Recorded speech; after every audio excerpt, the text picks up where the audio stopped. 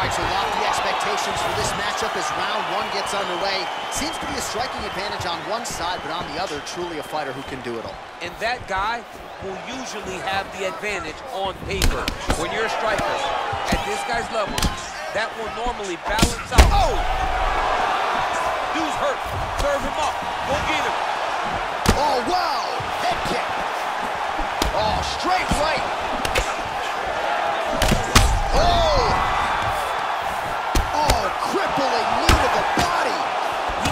Needs to start looking to finish now because he's got his opponent very bad. Oh, big combination of ground and pound strikes here, DC. This could be the beginning of the end. I mean, you got to be very careful when you take these big ground and pound strikes. You need to control posture on the bottom, and if you're the top guy, the guy that's looking to finish, continue to gain posture and rain down those. And that's going to do it. That'll do it. He's done. He's done. Oh my goodness, what a fight! I should say so. A tremendous kick to